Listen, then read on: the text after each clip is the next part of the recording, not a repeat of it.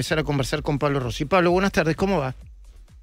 ¿Qué tal, Luis? ¿Qué tal? ¿Cómo les va? Buenas tardes a todos. Bien, uno de los aspectos que tiene la decisión del gobierno, el jefe de gobierno de la ciudad de em, eh, ir para atrás con la preadjudicación a tres empresas de acarreos de, eh, de grúas, ¿no? De acarreos de automóviles. Sí, eh, aquí se presenta un malo conocido, archiconocido, con negocios extendidos como un pulpo en diversos sectores de, empresas de servicio, eh, construyó, no te lo voy a decir a vos que has investigado esto eh, más al, al detalle que, muchos de nosotros, eh, lo que significa Moyano como en su poder el, el, holding construido y los tentáculos que, que, logró articular a lo largo de mucho tiempo, primero con, con todo lo que rodea al sindicato de camioneros, eh, y luego con lo que rodea servicios este, directos del Estado, a través de una cadena, no sé, alguien algún día investigará, la justicia eh, dejará de eh, mirar por otro lado, porque como bien decías anoche, parece a veces, no digo un intocable, pero casi Moyano. Esa es una, una faceta. Y la otra faceta política que poníamos en relevancia anoche, y hoy inmediatamente se reflejó en los diarios y ratifica cuál era nuestra mirada, es el rompimiento eh, con Rodríguez Larreta, sin lugar a duda, con una administración que, este, bueno, decidió, con la que decidió cortar, cortar lanzas, tal vez para encontrar una identidad propia, tal vez porque gobernar la ciudad en nombre del PRO después de tantos años lleva a un desgaste enorme y hace falta una diferenciación este, para que Jorge Macri no sea solo el último de la fila este, eh, eh, en esta secuencia de gobernantes del PRO que administró la ciudad. ¿no? Mm. Así que me parece de relevancia eh, en los dos aspectos. Uno político interno, que veremos cómo sigue, y otro es, la, bueno, los eternos choques, encontronazos, que suelen terminar a veces con amnisticios y con arreglos, hay que mm. decirlo, con el propio Moyano. Si no, no hubiera llegado a acumular el poder que tiene. Pablo, como un coletazo de todo lo que pasó con el famoso cantito de Enzo Fernández, puede suceder algo en París, me dijeron, que eh, quizá eh, eh, sea un último impacto. Em, creo que van, más, de 100, más de 100 mandatarios, o, 70 o 100 mandatarios a la inauguración de los Juegos Olímpicos. Creo que es el viernes. Sí. Va mi ley consiguió una bilateral eh, con, eh, con Macron. Macron. Eh, yo no sé si va a tener espacio, tiempo y lugar, pero es probable, eh, si yo no leo mal ni deduzco mal, que el, propio Milley haga una especie de gestión este, no oficial, fíjate hasta dónde puede llegar, para evitar que eh, Enzo Fernández sea sancionado. Hoy Enzo Fernández, perdón que me meto en el fútbol, eh, pero como esto empezó por, el fútbol y tiene que ver con la política, eh, quizás sean datos que, puedan ponerse sobre la mesa. Hoy el Chelsea está analizando darle 12 fechas a Enzo Fernández. Y en, como vos sabrás, tu hijo juega al fútbol en primera, este, en, en un eh, en un nivel de competencia tan alta, dejar de jugar 12 fechas es. Le, ah. pega un, le pega fuerte a tu carrera, ¿no? Eh, eh, ¿Qué te parece? ¿Qué te parece? Y en, y en, la, y en la Champions League y en, y en Europa, el doble, porque la competencia es, es, también mucho más feroz y mucho más, este, en, muchos casos despiadada que, que, que, quizá en nuestro país. Ah, tiene todas sus, sus características propias, cada, cada liga y cada, y cada sector. Sí, lo de, lo de Fernández, eh, hoy hay una nota que leí esta mañana, creo que es de Pablo Vaca en, la, en Clarín, este, muy, muy interesante, muy interesante que justo cuando mencionaste el tema la, estaba buscando, porque la verdad, la verdad, Luis, se ha dicha, en Argentina los cánticos, nuestros, los cánticos de las hinchadas, lo permisivo este, que es nuestro fútbol y nosotros mismos con este tipo de, alusiones es, verdaderamente preocupante, ¿no? porque es como, como una especie de doble estándar. Es como lo que nos pasa con, con las leyes en general. Las tenemos, pero no las cumplimos. ¿Ha habido algún tipo de sanción contra cantos racistas? Eh, eh, creo que en una tribuna de, Boca Juniors le, le, clausuraron, ¿viste? Le, hicieron pagar 100 mil dólares, pero no mucho más. Las referencias de Perdón, y, hay, y hay que decirlo, ¿no?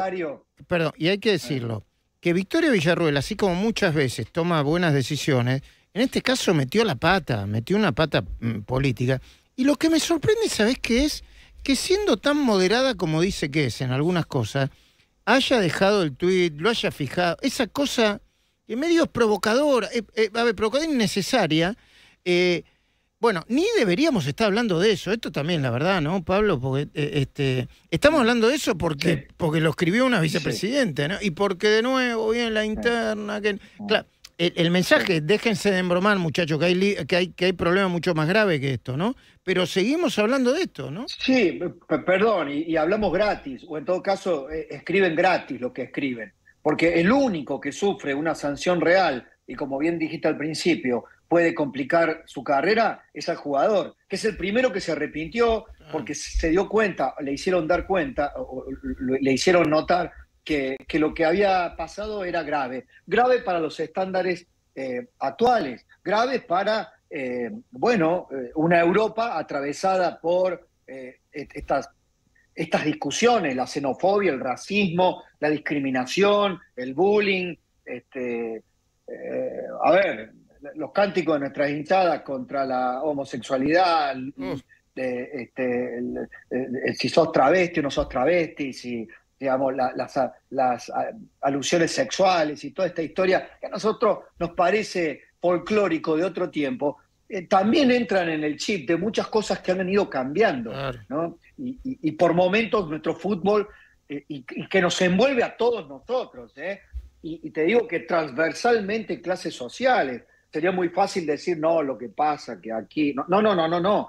Eh, en la cancha vos sos un hombre del fútbol, que, te le gusta el fútbol, Luis. En la cancha eh, podemos ser energúmenos, eh, el de la clase alta, menos alta, menos media, más baja. ¿está? Es como que no, no, nos convertimos en, criaturas de un mm. zoológico, todos. Y, me parece que hace poco la dirigencia y hacemos poco este, entre todos para, para entender la gravedad de estas cosas. Reitero, acá hubo un problema político, acá hubo una desmesura de, una, sí, de, un, de una vicepresidente que creyó que podía decirlo, no sé qué habrá pensado Villarruel, si quiso sacar provecho político, si quiso hacer un acto de demagogia, si realmente lo pensó y no midió la circunstancia y es lo que le pareció que tenía que escribir. Lo cierto es que generó toda una activación de ruido político interno. Pero reitero, el único que está a punto de, tener una consecuencia grave es el propio Enzo Fernández. Mm. Eh, ¿Estuviste al tanto de la visita del ministro de Economía, Luis Caputo, a la rural? Lo seguí este, por mm. encima con algunas definiciones que, dejó Caputo, confíen que esto es un cambio de régimen, me parece que allí se centra el discurso del gobierno, tienen que entender que esto no, no es una medida hoy, una medida mañana, acá estamos apostando a un cambio de régimen, y un cambio de régimen implica un cambio de estructura de pensamiento. Lo que ocurre es que hasta ahora el gobierno venía, como, como venimos comentando, venimos charlando, venía siendo muy homogéneo en el discurso y en la prédica de, ese cambio de régimen. Y donde mejor encontró la manera de, expresarlo ha sido en lo fiscal. en, lo fiscal. En lo monetario, como te dije ayer, es donde trastabilla un poquito, se contradice un poquito en términos de dolarización, peso, mm. dólar, peso, peso, dólar, eh, eh, eh, digamos, endoso un poquito, espero, espero un poquito la, la, credibilidad en lo monetario para defender fuertemente mi lucha contra la inflación, que es lo que más importa. Ayer me lo decía Guillermo Oliveto, las encuestas todas las cualitativas muestran que el gran activo del gobierno es la, lucha contra la inflación, que es lo que milagrosamente hace, milagrosamente para los estándares del argentino medio y los estándares de nuestra opinión pública, ¿no? Y los estándares del manual de la política tradicional. Digo, milagrosamente sigue teniendo una altísima eh, aceptación o, y mirada positiva de, la sociedad. la lucha contra la inflación. Los mercados tranquilos hoy, más o menos, sin mucho movimiento, ni para arriba ni para abajo. No sé cómo está el riesgo país, las acciones hay como un stand-by eh, eh, en los mercados, ¿viste? Los mercados son así, se te revuelven una semana, tres, cuatro días y después es como pareciera que las aguas se aquietan eh, en búsqueda de nuevos incentivos, ¿no? Ahí el gobierno lo que está mostrando es que quiere, quiere tener tapados todos los huecos de dudas que se vayan generando, por ejemplo, la refinanciación este, de, de, deudas que vencen el año próximo a partir de enero fundamentalmente, Em, eh, y tener em, activos asegurados para poder tranquilizar a los bonistas, que es lo que más ruido metieron en este último tiempo, las acciones en Nueva York, el, valor de los bonos, que eso, eso se traduce en el riesgo país. Eh, me da la sensación que el gobierno está buscando una unificación del discurso y de los gestos eh, este, en lo monetario para, para poder apuntalar este, lo que hasta ahora le ha sido sólido, que es, reitero, el discurso de la austeridad fiscal y la lucha contra la inflación. Eh, yo soy Loan, dice un suboficial del ejército argentino que, le dijo un niño mientras esperaba a su esposa en una esquina de la ciudad de Comodoro Rivadavia, en Chubut, eh, hace unas horas. ¿eh? El militar, ante las autoridades que tomaron la denuncia, afirmó estar convencido de que se trataba de Loan Danilo Peña. Ante la denuncia del suboficial Jesús Ferreira, la jueza federal de Comodoro Rivadavia, Eva Paricio de Seleme, perdón, Eva Parcio de Seleme, ordenó a personal de la Fuerza Federal de Seguridad un operativo cerrojo y un relevamiento de las cámaras de la zona donde el militar dijo haber visto a Loan. Un nuevo capítulo de algo que ya está teniendo una carga emotiva de, desesperación, de carencia de información, de responder a la única pregunta que hay que responderse, que es dónde está Loan, que le sumo un nuevo eslabón, yo te diría a, a lo mediático más que a los hechos. Yo, ojalá que sea Loan y que lo hayan encontrado, pero... Sigue los pasos del manual de chicos desaparecidos que nunca se han encontrado. El caso de Sofía Herrera que por eso de ahí el nombre, el Alerta Sofía que se activó en el sur. Eh, todo, es, todo es raro, todo es extraño, tomado con pinzas hasta que se pueda demostrar lo contrario. Pasó con el alerta que se había activado en Córdoba hace algún tiempo. Eh, este, y digo lo que pasó con Sofía Herrera porque la, madre de Sofía Herrera tuvo hasta, hasta que afrontar nuevas pruebas genéticas por chicas que parecían que podían ser Sofía tres años después, cuatro años después, en una, cantidad de lugares de la Argentina. Eh, esto ya ha pasado en otros casos, este, donde alguno aporta un dato en dónde podría haber sido el destino de la criatura.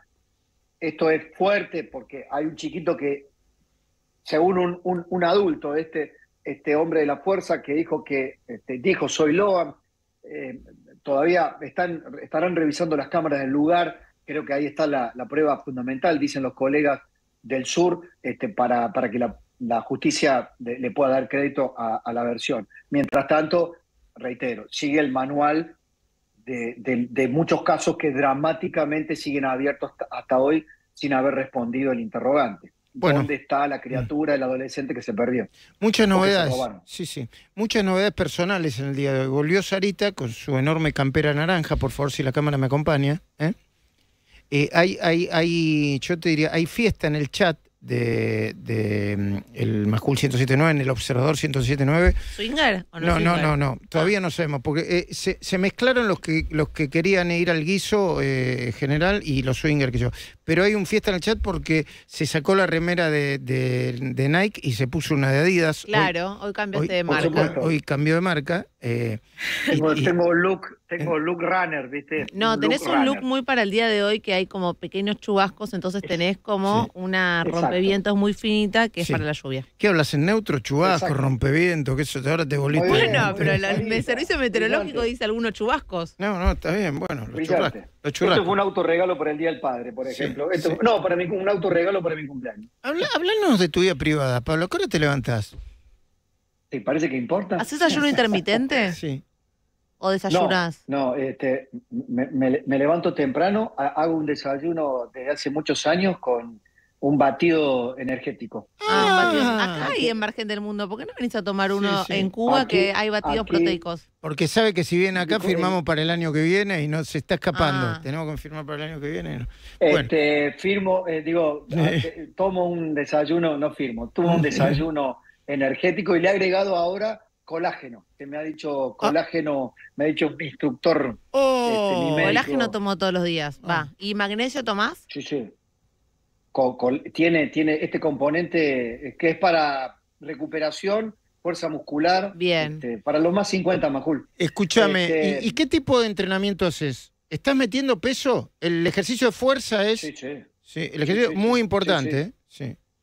Dos veces, do- dos veces por, por ahora, dos veces por semana, a veces barra tres, este, al gimnasio, eh, con, con pesas, Mm. con elíptico, con bicicleta. Mm. Este, Muy a, muy a tu style, ¿eh? Después Sí. con, de- después con, con este, plancha para abdominales, fundamentalmente, Mm. este, eh, algo de elongación, y después sí, musculación en piernas, fundamentalmente para la Muy zona bien. media. Muy bien. ¿Tardaste más en contar todo? ¿Tardaste más en contar todo que en lo que haces de verdad? No lo sabemos. No, no, espera.